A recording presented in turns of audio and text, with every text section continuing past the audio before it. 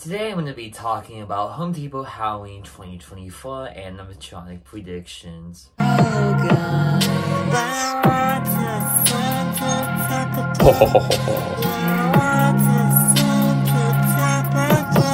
Hello guys, Ascend the Clown Haunt here, and today is actually my birthday, my 18th birthday.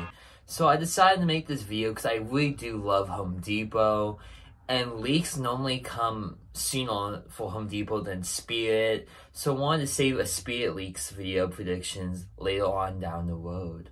So let's get started. So my first prediction is the Nightmare Before Christmas Mayor animatronic, and I'm actually surprised this hasn't happened yet considering how much Nightmare Before Christmas merchandise and props we get. But anyways, I do want this to happen. I love the character of the Mayor, and I think Nightmare Before Christmas is a really good movie. And it would be cool to see him and how he looks and his head turning for his animation. Next up, we have the 12-foot decayed skeleton, and there's actually rumors of something like this happening for 2024. I don't know if they're real fake as of now, but my idea is basically a creepy looking skeleton, like a creepier version of the 12 foot skeleton. It could have some creepy cloth, some better detailing, a creepier face. And I feel like that would be very cool. Maybe it can move and have some animation. And the mouth can go up and down and have some audio. Who knows, anything is possible. But I feel like this would be very cool to have. So the next thing I'm going to talk about, I believe I've mentioned in a video or two before. I could be mistaken but this is a pulling pirate animatronic.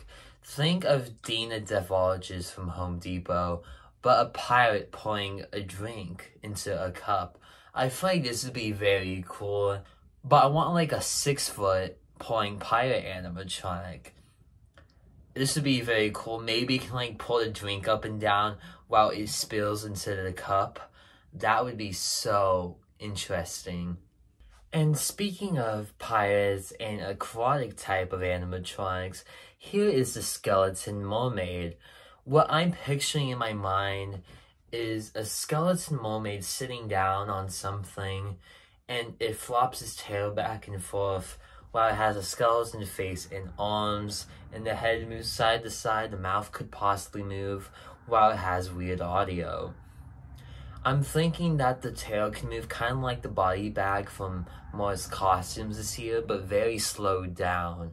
This would be very dope to see. So this is the final idea for this video, which is a silver model alien. This would be very cool. I'm imagining it would be six or seven feet tall, and I'm kind of picturing it kind of like Grim from Spirit Halloween from animation wise, where it can just like move its arms up and down. Maybe the head can tilt somehow. That would be so cool. I would definitely buy that instantly. And Home Depot or someplace better do this in the future. But yeah, that's basically all I have to say, and I hope you enjoyed this video. So that's like it, guys. So bye, and don't forget, the clowns are coming. Ha ha ha ha.